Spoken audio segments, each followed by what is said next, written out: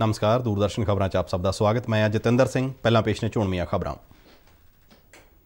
ਪ੍ਰਧਾਨ ਮੰਤਰੀ ਨਰਿੰਦਰ ਮੋਦੀ ਨੇ ਭਾਰਤੀ ਰਿਜ਼ਰਵ ਬੈਂਕ ਦੇ ਗਾਹਕ ਕੇਂਦਰਿਤ ਦੋ ਪ੍ਰੋਗਰਾਮਾਂ ਦਾ ਕੀਤਾ ਉਦਘਾਟਨ।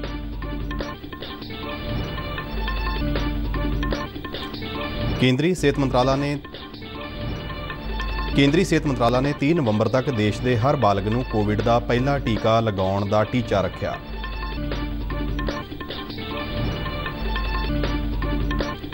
ਤਿੰਨ ਸੌ ਰੁਪਏ ਤੋਂ ਕਾਰੋਬਾਰ ਸ਼ੁਰੂ ਕਰਕੇ 2500 ਕਰੋੜ ਰੁਪਏ ਦੀ ਟਰਨਓਵਰ ਤੱਕ ਪੁੱਜਣ ਵਾਲੀ ਪਦਮ ਸ਼੍ਰੀ ਰਜਨੀ ਬੈਕਟਰ, ਮਹਿਲਾ ਉਦਮੀਆਂ ਲਈ ਬਣੇ ਪ੍ਰੇਰਣਾ ਸਰੋਤ।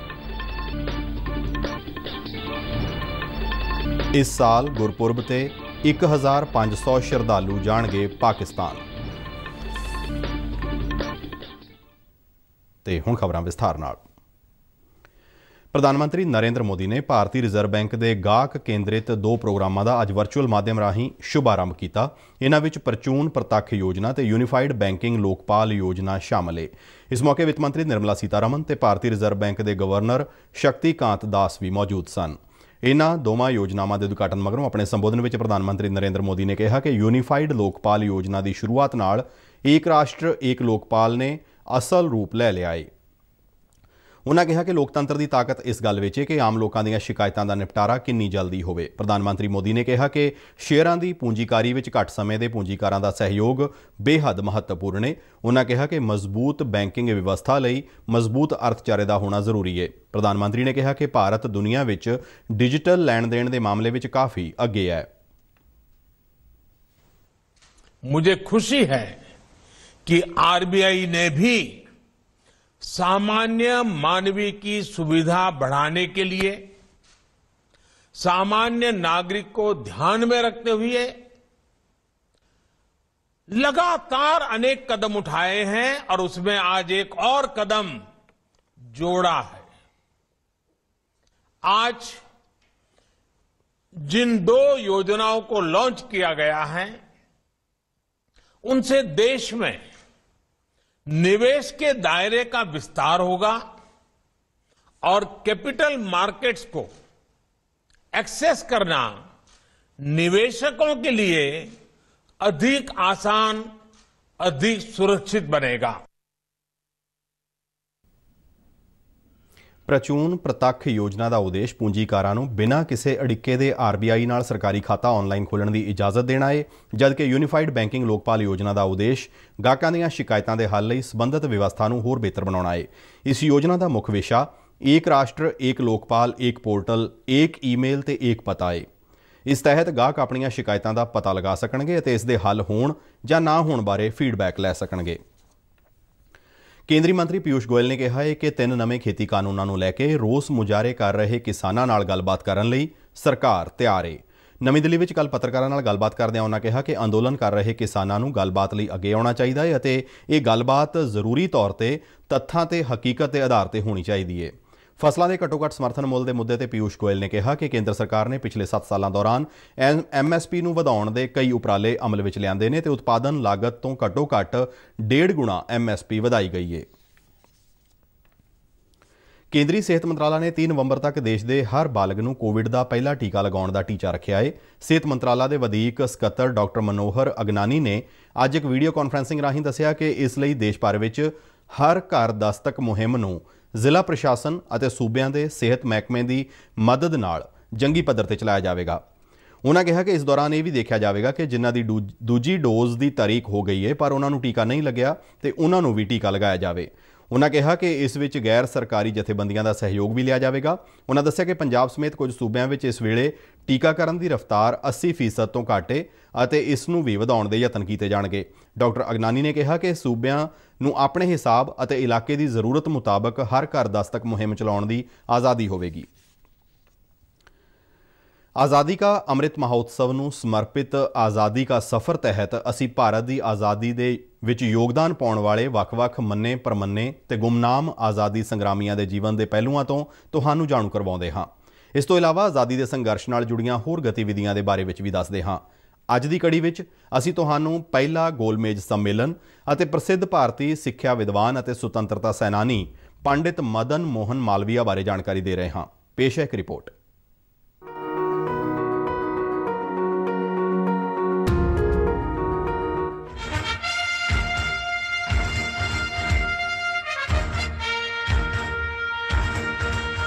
12 ਨਵੰਬਰ 1930 ਨੂੰ ਪਹਿਲਾ ਗੋਲਮੇਜ਼ ਸੰਮੇਲਨ ਲੰਡਨ ਵਿੱਚ ਸ਼ੁਰੂ ਹੋਇਆ ਸੀ। 1919 ਵਿੱਚ ਗਾਂਧੀ ਜੀ ਦੀ ਅਗਵਾਈ ਹੇਠ ਕੀਤੇ ਗਏ ਨਾ ਮਿਲਵਰਤਨ ਅੰਦੋਲਨ ਦੇ ਨਾਲ ਸੁਤੰਤਰਤਾ ਅੰਦੋਲਨ ਆਪਣੇ ਸਿਖਰ ਤੇ ਸੀ। ਇਸ ਦੌਰਾਨ ਪਾਸ ਕੀਤੇ ਗਏ ਭਾਰਤ ਸਰਕਾਰ ਐਕਟ 1919 ਵਿੱਚ ਭਾਰਤੀਆਂ ਦੀ ਮੰਗ ਅਨੁਸਾਰ ਸ਼ਾਸਨ ਦੀਆਂ ਸਾਰੀਆਂ ਸ਼ਾਖਾਵਾਂ 'ਚ ਉਹਨਾਂ ਦੀ ਵੱਧ ਹਿੱਸੇਦਾਰੀ ਦਾ ਪ੍ਰਬੰਧ ਨਹੀਂ ਕੀਤਾ ਗਿਆ ਸੀ। ਅੰਗਰੇਜ਼ ਹਕੂਮਤ ਦੀ ਵਿਵਸਥਾ ਦੇ ਖਾਸ ਵਰਗ ਵਿੱਚ ਵੀ ਭਾਰਤ ਨੂੰ ਪ੍ਰਭੂਤਾ ਦਾ ਦਰਜਾ ਦੇਣ ਦੀ ਮੰਗ ਵੱਧ ਰਹੀ ਸੀ। ਇਸ ਲਈ ਭਾਰਤ ਸਰਕਾਰ ਐਕਟ 1919 ਨੂੰ ਲਾਗੂ ਕਰਨ ਦੀ ਜਾਂਚ ਲਈ ਸਾਈਮਨ ਕਮਿਸ਼ਨ ਨਿਯੁਕਤ ਕੀਤਾ ਗਿਆ ਸੀ। ਉਸ ਵੇਲੇ ਦੇ ਇੰਗਲੈਂਡ ਦੇ ਪ੍ਰਧਾਨ ਮੰਤਰੀ ਰਾਮਸੇ ਮੈਕਡੋਨਲਡ ਨੇ ਸਾਈਮਨ ਰਿਪੋਰਟ ਨੂੰ ਗੈਰ ਮੁਨਾਸਿਬ ਮੰਨਦਿਆਂ 1929 ਵਿੱਚ ਲੰਡਨ ਵਿੱਚ ਗੋਲਮੇਜ਼ ਸੰਮੇਲਨਾਂ ਦੀ ਇੱਕ ਲੜੀ ਆਯੋਜਿਤ ਕਰਨ ਦਾ ਫੈਸਲਾ ਲਿਆ। ਅਜੇ ਤਿੰਨ ਸੰਮੇਲਨਾਂ ਦਾ ਆਯੋਜਨ ਕੀਤਾ ਗਿਆ। ਪਹਿਲਾ ਗੋਲਮੇਜ਼ ਸੰਮੇਲਨ 12 ਨਵੰਬਰ 1930 ਤੋਂ 19 ਜਨਵਰੀ 1931 ਤੱਕ ਆਯੋਜਿਤ ਕੀਤਾ ਗਿਆ ਸੀ। ਸੰਮੇਲਨ ਤੋਂ ਪਹਿਲਾਂ ਮਹਾਤਮਾ ਗਾਂਧੀ ਨੇ ਸਿਵਲ ਨਾਫਰਮਾਨੀ ਦਾ ਅੰਦੋਲਨ ਸ਼ੁਰੂ ਕੀਤਾ ਸੀ। ਨਤੀਜੇ ਦੇ ਤੌਰ ਤੇ ਕਾਂਗਰਸ ਨੇ ਇਸ ਸੰਮੇਲਨ 'ਚ ਹਿੱਸਾ ਨਹੀਂ ਲਿਆ, ਪਰ ਹੋਰ ਭਾਰਤੀ ਦਲਾਂ ਦੇ ਨੁਮਾਇੰਦੇ ਤੇ ਕਈ ਸ਼ਾਸਕ ਇਸ ਵਿੱਚ ਸ਼ਾਮਿਲ ਹੋਏ। ਡਾਕਟਰ ਬੀ ਆਰ ਅੰਬੇਦਕਰ ਨੇ ਦਲਿਤ ਵਰਗਾਂ ਦਾ ਮੁੱਦਾ ਚੁੱਕਿਆ ਅਤੇ ਉਹਨਾਂ ਲਈ ਇੱਕ ਵੱਖਰੇ ਚੋਣ ਮੰਡਲ ਦੀ ਮੰਗ ਕੀਤੀ। ਤੇਜ ਬਹਾਦਰ ਸਪਰੂ ਨੇ ਅਖਿਲ ਭਾਰਤੀ ਸੰਘ ਦੇ ਵਿਚਾਰ ਨੂੰ ਅੱਗੇ ਵਧਾਇਆ। ਮੁਸਲਿਮ ਲੀਗ ਨੇ ਵੀ ਇਸ ਦੀ ਹਮਾਇਤ ਕੀਤੀ ਸੀ। ਰਿਆਸਤਾਂ ਦੀ ਸੁਤੰਤਰਤਾ ਲਈ ਅੱਗੇ ਆਈਆਂ ਪਰ ਸ਼ਰਤ ਰੱਖੀ ਕਿ ਉਹਨਾਂ ਦੀ ਅੰਦਰੂਨੀ ਪ੍ਰਭੂਤਾ ਬਣੀ ਰਹਿਣੀ ਚਾਹੀਦੀ ਹੈ। ਰਿਆਸਤਾਂ ਵੀ ਸੁਤੰਤਰਤਾ ਲਈ ਅੱਗੇ ਆਈਆਂ ਪਰ ਸ਼ਰਤ ਰੱਖੀ ਕਿ ਉਹਨਾਂ ਦੀ ਅੰਦਰੂਨੀ ਪ੍ਰਭੂਤਾ ਬਣੀ ਰਹਿਣੀ ਚਾਹੀਦੀ ਹੈ। ਪਹਿਲੇ ਗੋਲਮੇਜ਼ ਸੰਮੇਲਨ ਦੀ ਸਮਾਪਤੀ ਤੋਂ ਬਾਅਦ ਤੇਜ ਬਹਾਦਰ ਸਪਰੂ, ਸੀ ਬਾਈ ਚਿੰਤਾਮਣੀ ਅਤੇ ਸ਼੍ਰੀ ਨਿਵਾਸ ਸ਼ਾਸਤਰੀ ਨੇ ਮਹਾਤਮਾ ਗਾਂਧੀ ਨੂੰ ਵਾਇਸਰਾਏ ਲਾਰਡ ਇਰਵਿਨ ਨਾਲ ਗੱਲਬਾਤ ਕਰਨ ਲਈ ਮਨਾਉਣ ਦੀ ਕੋਸ਼ਿਸ਼ ਕੀਤੀ। ਮਾਰਚ 1931 ਵਿੱਚ ਗੱਲਬਾਤ ਤੋਂ ਬਾਅਦ ਗਾਂਧੀ ਇਰਵਿਨ ਸਮਝੌਤੇ ਤੇ ਦਸਤਖਤ ਕੀਤੇ ਗਏ ਅਤੇ ਗਾਂਧੀ ਜੀ ਸਿਵਲ ਨਾ ਫਰਮਾਨੀ ਦੇ ਅੰਦੋਲਨ ਨੂੰ ਮੁਲਤਵੀ ਕਰਨ ਅਤੇ ਦੂਜੇ ਗੋਲਮੇਜ਼ ਸੰਮੇਲਨ 'ਚ ਹਿੱਸਾ ਲੈਣ ਲਈ ਰਜ਼ਾਮੰਦ ਹੋਏ। 12 ਨਵੰਬਰ ਨੂੰ ਹੀ ਪ੍ਰਸਿੱਧ ਭਾਰਤੀ ਸਿੱਖਿਆ ਵਿਦਵਾਨ ਅਤੇ ਸੁਤੰਤਰਤਾ ਸੈਨਾਨੀ ਪੰਡਿਤ ਮਦਨ ਮੋਹਨ ਮਾਲਵੀਆ ਦੀ ਬਰਸੀ ਵੀ ਹੈ, ਜਿਨ੍ਹਾਂ ਨੂੰ ਮਹਾਮਨਾ ਵੀ ਕਿਹਾ ਜਾਂਦਾ ਹੈ। ਉਹਨਾਂ ਦਾ ਜਨਮ 25 ਦਸੰਬਰ 1861 ਨੂੰ ਇਲਾਹਾਬਾਦ ਵਿੱਚ ਹੋਇਆ ਸੀ। ਉਹਨਾਂ ਨੇ ਕਲਕੱਤਾ ਯੂਨੀਵਰਸਿਟੀ 'ਚ ਪੜ੍ਹਾਈ ਕੀਤੀ। ਫਿਰ ਉਹ ਇੱਕ ਸਕੂਲ ਅਧਿਆਪਕ ਤੇ ਬਾਅਦ ਵਿੱਚ ਵਕੀਲ ਅਤੇ ਇੱਕ ਅਖਬਾਰ ਦੇ ਸੰਪਾਦਕ ਬਣੇ। ਉਹ ਹਿੰਦੂ ਮਹਾਸਭਾ ਦੇ ਸੰਸਥਾਪਕ ਵੀ ਨੇ। ਅਸਹਿਯੋਗ ਅੰਦੋਲਨ 'ਚ ਮਾਲਵੀਆ ਨੇ ਇੱਕ ਮਹੱਤਵਪੂਰਨ ਵਿਅਕਤੀ ਵਜੋਂ ਭੂਮਿਕਾ ਨਿਭਾਈ। ਭਾਵੇਂ ਉਹ ਖੁਸ਼ ਕਰਨ ਦੀ ਰਾਜਨੀਤੀ ਅਤੇ ਖਿਲਾਫਤ ਅੰਦੋਲਨ ਵਿੱਚ ਕਾਂਗਰਸ ਦੀ ਭਾਗੀਦਾਰੀ ਦੇ ਵਿਰੋਧੀ ਸਨ। ਮਦਨ ਮੋਹਨ ਮਾਲਵੀਆ 1928 ਵਿੱਚ ਲਾਲਾ ਲਾਜਪਤ ਰਾਏ, ਜਵਾਹਰ ਲਾਲ ਨਹਿਰੂ ਅਤੇ ਕਈ ਹੋਰ ਲੋਕਾਂ ਨਾਲ ਸਾਈਮਨ ਕਮਿਸ਼ਨ ਦੇ ਵਿਰੋਧ ਵਿੱਚ ਸ਼ਾਮਿਲ ਹੋਏ, ਜਿਸ ਨੂੰ ਅੰਗਰੇਜ਼ਾਂ ਨੇ ਭਾਰਤ ਦੇ ਭਵਿੱਖ ਤੇ ਵਿਚਾਰ ਕਰਨ ਲਈ ਸਥਾਪਿਤ ਕੀਤਾ ਸੀ। ਜਿਵੇਂ ਹੀ ਇੰਗਲੈਂਡ ਵਿੱਚ ਬ੍ਰਿਟਿਸ਼ ਖਰੀਦੋ ਮੁਹਿੰਮ ਨੇ ਪੈਰ ਫੈਲਾਉਣੇ ਸ਼ੁਰੂ ਕੀਤੇ ਮਦਨ ਮੋਹਨ ਮਾਲਵੀਆ ਨੇ 30 ਮਈ 1932 ਨੂੰ ਇੱਕ ਐਲਾਨਨਾਮਾ ਜਾਰੀ ਕਰ ਦਿੱਤਾ, ਜਿਸ 'ਚ ਭਾਰਤ ਵਿੱਚ ਭਾਰਤੀ ਖਰੀਦੋ ਅੰਦੋਲਨ ਤੇ ਧਿਆਨ ਕੇਂਦਰਿਤ ਕਰਨ ਦੀ ਅਪੀਲ ਕੀਤੀ ਗਈ ਸੀ। ਮਾਲਵੀਆ 1931 ਵਿੱਚ ਦੂਜੇ ਗੋਲਮੇਜ਼ ਸੰਮੇਲਨ 'ਚ ਇੱਕ ਨੁਮਾਇੰਦੇ ਸਨ। ਸਰੋਜਨੀ ਨਾਇਡੂ ਦੀ ਗ੍ਰਿਫਤਾਰੀ ਤੋਂ ਬਾਅਦ 1932 ਵਿੱਚ ਦਿੱਲੀ 'ਚ ਕਾਂਗਰਸ ਦੇ ਪ੍ਰਧਾਨ ਦੇ ਤੌਰ ਤੇ ਨਿਯੁਕਤ ਹੋਣ ਦੇ ਕੁਝ ਹੀ ਦਿਨਾਂ ਬਾਅਦ ਸਿਵਲ ਨਾਫਰਮਾਨੀ ਅੰਦੋਲਨ ਦੌਰਾਨ ਮਾਲਵੀਆ ਨੂੰ 25 ਅਪ੍ਰੈਲ 1932 ਨੂੰ ਦਿੱਲੀ 'ਚ 450 ਹੋਰ ਕਾਂਗਰਸ ਵਲੰਟੀਅਰਾਂ ਨਾਲ ਗ੍ਰਿਫਤਾਰ ਕਰ ਲਿਆ ਗਿਆ। 1933 ਵਿੱਚ ਕਲਕੱਤਾ 'ਚ ਉਹਨਾਂ ਨੂੰ ਫਿਰ ਤੋਂ ਕਾਂਗਰਸ ਦੇ ਪ੍ਰਧਾਨ ਵਜੋਂ ਨਿਯੁਕਤ ਕੀਤਾ ਗਿਆ। ਇਸ ਤਰ੍ਹਾਂ ਸੁਤੰਤਰਤਾ ਤੋਂ ਪਹਿਲਾਂ ਮਾਲਵੀਆ ਭਾਰਤੀ ਰਾਸ਼ਟਰੀ ਕਾਂਗਰਸ ਦੇ ਇਕਲੌਤੇ ਅਜੇ ਨੇਤਾ ਸਨ, ਜਿਨ੍ਹਾਂ ਨੂੰ ਚਾਰ ਕਾਰਜਕਾਲਾਂ ਲਈ ਇਸ ਦੇ ਪ੍ਰਧਾਨ ਵਜੋਂ ਨਿਯੁਕਤ ਕੀਤਾ ਗਿਆ ਸੀ। ਮਾਲਵੀਆ ਨੇ ਹਮੇਸ਼ਾ ਹਿੰਦੂ, ਮੁਸਲਿਮ, ਏਕਤਾ ਲਈ ਯਤਨ ਕੀਤਾ। ਫਿਰਕੂ ਸਦਭਾਵਨਾ ਤੇ ਉਹਨਾਂ ਦੇ ਦੋ ਭਾਸ਼ਣ ਕਾਫੀ ਮਸ਼ਹੂਰ ਹੋਏ।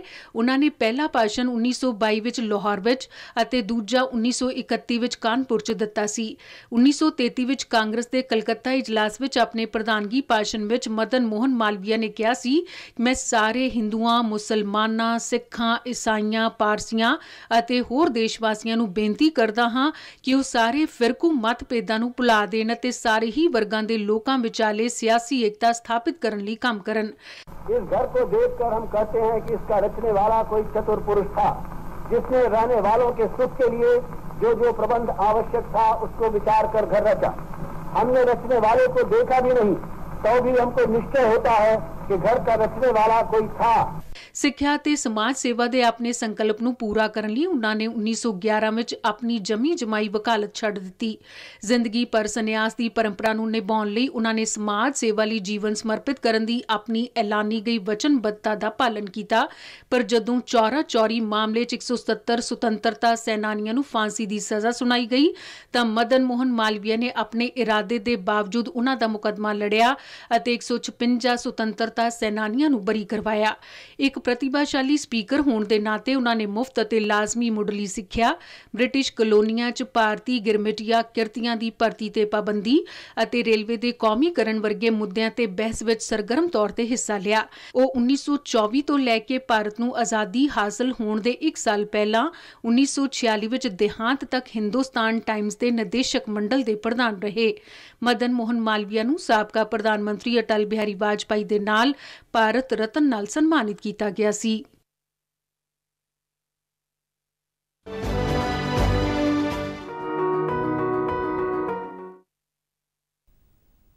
ਲੁਧਿਆਣਾ ਦੀ ਸਫਲ ਮਹਿਲਾ ਕਾਰੋਬਾਰੀ ਰਜਨੀ ਬੈਕਟਰ ਨੂੰ ਪਿਛਲੇ ਦਿਨੀ ਪਦਮ ਸ਼੍ਰੀ ਅਵਾਰਡ ਨਾਲ ਨਵਾਜਿਆ ਗਿਆ ਏ। ਉਹਨਾਂ ਕਰੀਬ 42 ਸਾਲ ਪਹਿਲਾਂ 300 ਰੁਪਏ ਵਿੱਚ ਓਵਨ ਖਰੀਦ ਕੇ ਆਪਣੇ ਘਰ ਤੋਂ ਬਿਸਕੁਟ ਅਤੇ ਕੇਕ ਬਣਾਉਣ ਦਾ ਕੰਮ ਸ਼ੁਰੂ ਕੀਤਾ ਸੀ ਤੇ ਅੱਜ ਉਹਨਾਂ ਦਾ ਕਾਰੋਬਾਰ 2500 ਕਰੋੜ ਰੁਪਏ ਤੇ ਪੁੱਜ ਕੇ ਇੱਕ ਵੱਡੀ ਕੰਪਨੀ ਵਿੱਚ ਤਬਦੀਲ ਹੋ ਚੁੱਕਾ ਏ। ਪੇਸ਼ ਹੈ ਇੱਕ ਰਿਪੋਰਟ श्रीमती रजनी बेक्टर व्यापार एवं उद्योग ਕੋਈ 40 ਸਾਲ ਪਹਿਲਾਂ ਆਪਣੇ ਘਰ ਵਿੱਚ ਹੀ ਓਵਨ ਖਰੀਦ ਕੇ ਬਿਸਕੁਟ ਤੇ ਕੇਕ ਬਣਾਉਣ ਦਾ ਕੰਮ ਸ਼ੁਰੂ ਕਰਨ ਵਾਲੀ ਸੰਤੀ ਸ਼ਹਿਰ ਲੁਧਿਆਣਾ ਦੀ ਵਸਨੀਕ ਸਨਅਤਕਾਰ ਅਤੇ ਕਾਰੋਬਾਰੀ ਰਜਨੀ ਬੈਕਟਰ ਬੇਕਰੀ ਦੀ ਦੁਨੀਆ ਵਿੱਚ ਜਾਣਿਆ ਪਛਾਣਿਆ ਨਾਂ ਹੈ ਉਹਨਾਂ ਬੇਕਰੀ ਦੀ ਦੁਨੀਆ ਵਿੱਚ ਆਪਣੀ ਪਛਾਣ ਸਥਾਪਿਤ ਕੀਤੀ ਅਤੇ ਕ੍ਰੀਮਿਕਾ ਨਾਂ ਦੇ ਬਿਸਕੁਟ ਕੁਕੀਜ਼ ਅਤੇ ਬੇਕਰੀ ਦਾ ਹੋਰ ਸਮਾਨ ਦੇਸ਼ ਵਿਦੇਸ਼ ਵਿੱਚ ਲੋਕਾਂ ਦੀ ਪਸੰਦ ਬਣ ਗਿਆ ਰਜਨੀ ਬੈਕਟਰ ਨੂੰ ਬੀਤੇ ਦਿਨੀ ਰਾਸ਼ਟਰਪਤੀ ਵੱਲੋਂ ਸਨਅਤ ਅਤੇ ਵਪਾਰ ਦੇ ਖੇਤਰ ਵਿੱਚ ਵਿਲੱਖਣ ਕਾਰਗੁਜ਼ਾਰੀ ਲਈ ਪਦਮ ਸ਼੍ਰੀ ਨਾਲ ਸਨਮਾਨਿਤ ਕੀਤਾ ਗਿਆ। ਰਜਨੀ ਬੈਕਟਰ ਨੇ ਆਪਣੀ ਮਿਹਨਤ, ਸਮਰਪਣ ਅਤੇ ਜਨੂਨ ਨਾਲ ਮੁਕਾਬਲੇ ਦੇ ਇਸ ਦੌਰ ਵਿੱਚ ਵੀ ਬੇਕਰੀ ਦੀਆਂ ਬਿਹਤਰੀਨ ਵਸਤਾਂ ਤਿਆਰ ਕਰਕੇ ਦੇਸ਼ ਵਿਦੇਸ਼ਾਂ ਵਿੱਚ ਆਪਣਾ ਨਾਮ ਬਣਾਇਆ ਅਤੇ ਅੱਜ ਰਜਨੀ ਬੈਕਟਰ ਮਹਿਲਾ ਉਦਮੀਆਂ ਲਈ ਪ੍ਰੇਰਣਾ ਸਰੋਤ ਅਤੇ ਇੱਕ ਬਿਹਤਰੀਨ ਮਿਸਾਲ ਬਣ ਗਏ ਨੇ। ਪਦਮ ਸ਼੍ਰੀ ਸਨਮਾਨ ਹਾਸਲ ਕਰਨ ਤੋਂ ਬਾਅਦ ਲੁਧਿਆਣਾ ਵਿੱਚ ਦੂਰਦਰਸ਼ਨ ਨਾਲ ਗੱਲਬਾਤ ਕਰਦਿਆਂ ਰਜਨੀ ਬੈਕਟਰ ਨੇ ਕਿਹਾ ਕਿ ਸਾਰਿਆਂ ਨੂੰ ਟੀਚਾ ਤੈਅ ਕਰਕੇ ਅੱਗੇ ਵਧਣਾ ਚਾਹੀਦਾ ਹੈ ਅਤੇ ਸਫਲਤਾ ਜ਼ਰੂਰ ਮਿਲਦੀ ਹੈ ਉਹਨਾਂ ਦੱਸਿਆ ਕਿ ਉਹਨਾਂ ਦੇ ਉਤਪਾਦ ਸਿਰਫ ਦੇਸ਼ ਵਿੱਚ ਹੀ ਨਹੀਂ ਸਗੋਂ ਵਿਦੇਸ਼ਾਂ ਵਿੱਚ ਵੀ ਕਾਫੀ ਪ੍ਰਚਲਿਤ ਨੇ ਰਜਨੀ ਬੈਕਟਰ ਦੱਸਦੇ ਨੇ ਕਿ ਉਹਨਾਂ ਕੁਆਲਿਟੀ ਨਾਲ ਕਦੇ ਸਮਝੌਤਾ ਨਹੀਂ ਕੀਤਾ 1978 में मैंने स्टार्ट किया था और आज तो 2021 हो गया, सो बहुत साल हो गए ज़्यादा जब बढ़ाव की तरफ़ हमें आई हूँ। नब्बे से बाद में बहुत ज़्यादा ऊपर को गए हैं और आस्ता आस्ता करते करते बहुत ऊपर जाते रहे हैं। सो यही सफ़र था जो बहुत अच्छा रहा, तकलीफ़ों के साथ भी रहा, अच्छाई की तरफ़ भी रहा अच्छा भी रहा, तभी आगे को गए मोदी जी ने मेरे को कहा आपने मेरे को खाना नहीं खिलाया। तो मैंने कहा खाने के लिए तो लुधियाना आना पड़ेगा ना यहाँ तो नहीं खाना आना खिला सकती मैं आपको। तो बिज़नेस के बारे में भी बात की उन्होंने सारी बहुत अच्छी तरह से जो उनका मैं उनका चेहरा और उनका मेरी आँखों के सामने मौजूद है। और आ, मैं उनके लिए बहुत शुक्रगुजार हूँ कि उन्होंने ऐसा हमारे बारे में सोचा। मैं हर एक वुमन को यही संदेश देना चाहूँगी कि घर पर मत बैठिए घर पर मत बैठिए पर अपने बच्चों को ज़रूर ध्यान रखिए बच्चों को मैंने भी कभी ज़िंदगी में निगलेक्ट नहीं किया मैंने बच्चों के सामने काम भी नहीं किया ਸ਼ਾਲਾ ਉਹ ਵਪਾਰ ਅਤੇ ਸਨਅਤ ਦੇ ਖੇਤਰ ਵਿੱਚ ਹੋਰ ਤਰੱਕੀ ਕਰਨ ਅਤੇ ਇਸੇ ਤਰ੍ਹਾਂ ਇੱਕ ਸ਼ਕਤੀਸ਼ਾਲੀ ਮਹਿਲਾ ਦੇ ਤੌਰ ਤੇ ਨੌਜਵਾਨ ਮਹਿਲਾ ਉਦਮੀਆਂ ਦਾ ਮਾਰਗਦਰਸ਼ਨ ਕਰਦੇ ਰਹਿਣ ਲੁਧਿਆਣਾ ਤੋਂ ਅਸ਼ਵਨੀ ਦੇ ਨਾਲ ਊਸ਼ਾ ਪਵਾਰ ਦੂਰਦਰਸ਼ਨ ਸਮਾਚਾਰ ਜਲੰਧਰ ਕੇਂਦਰ ਸਰਕਾਰ ਨੇ ਕਿਹਾ ਹੈ ਕਿ ਇਸ ਸਾਲ ਗੁਰਪੁਰਬ ਤੇ 1500 ਸ਼ਰਧਾਲੂ ਪਾਕਿਸਤਾਨ ਜਾਣਗੇ। ਵਿਦੇਸ਼ ਮੰਤਰਾਲਾ ਦੇ ਬੁਲਾਰੇ ਅਨੰਦਮ ਬਾਗਚੀ ਨੇ ਆਸ ਪ੍ਰਗਟਾਈ ਹੈ ਕਿ ਸ਼ਰਧਾਲੂਆਂ ਦੇ ਇਸ ਜੱਥੇ ਦੇ ਅਟਾਰੀ ਵਾਗਾ ਬਾਰਡਰ ਜ਼ਰੀਏ ਸਫ਼ਰ ਨੂੰ ਪਾਕਿਸਤਾਨ ਆਸਾਨ ਬਣਾਏਗਾ। ਉਹਨਾਂ ਕਿਹਾ ਕਿ ਭਾਰਤ ਅਤੇ ਪਾਕਿਸਤਾਨ ਵਿਚਾਲੇ 1974 ਤੋਂ ਧਾਰਮਿਕ ਥਾਵਾਂ ਦੀ ਯਾਤਰਾ ਲਈ ਹੋਏ ਦੁਵੱਲੇ ਸਮਝੌਤੇ ਤਹਿਤ ਇਹ ਯਾਤਰਾ ਕਰਵਾਈ ਜਾ ਰਹੀ ਹੈ ਸ਼ਰਧਾਲੂਆਂ ਦੇ ਇਸ ਜੱਥੇ ਦਾ 17 ਤੋਂ 26 ਨਵੰਬਰ ਤੱਕ ਪਾਕਿਸਤਾਨ ਦੇ ਗੁਰਦੁਆਰਾ ਦਰਬਾਰ ਸਾਹਿਬ, ਗੁਰਦੁਆਰਾ ਕਰਤਾਰਪੁਰ ਸਾਹਿਬ, ਗੁਰਦੁਆਰਾ ਪੰਜਾ ਸਾਹਿਬ, ਗੁਰਦੁਆਰਾ ਡੇਰਾ ਸਾਹਿਬ, ਗੁਰਦੁਆਰਾ ਨਨਕਾਣਾ ਸਾਹਿਬ ਅਤੇ ਗੁਰਦੁਆਰਾ ਸੱਚਾ ਸੌਦਾ ਜਾਣ ਦਾ ਪ੍ਰੋਗਰਾਮ ਹੈ ਕਰਤਾਰਪੁਰ ਸਾਹਿਬ ਗੁਰਦੁਆਰਾ ਪਾਕਿਸਤਾਨ ਦੇ ਨਰੋਵਾਲ ਜ਼ਿਲ੍ਹੇ ਵਿੱਚ ਰਾਵੀ ਨਦੀ ਦੇ ਕੰਢੇ ਤੇ ਸਥਿਤ ਹੈ। ਇਹ ਸਿੱਖਾਂ ਦੇ ਪਹਿਲੇ ਗੁਰੂ ਸ੍ਰੀ ਗੁਰੂ ਨਾਨਕ ਦੇਵ ਜੀ ਦਾ ਆਖਰੀ ਆਰਾਮ ਅਸਥਾਲ ਹੈ। ਉਹਨਾਂ ਆਪਣੇ ਜੀਵਨ ਦੇ ਆਖਰੀ 18 ਸਾਲ ਕਰਤਾਰਪੁਰ ਵਿੱਚ ਬਿਤਾਏ ਸਨ। ਇਸ ਦੇ ਨਾਲ ਹੀ ਸਾਡਾ ਖਬਰਾਂ ਦਾ ਬੁਲੇਟਿਨ ਸਮਾਪਤ ਹੁੰਦਾ ਹੈ। ਇਜਾਜ਼ਤ ਦਿਓ। ਨਮਸਕਾਰ।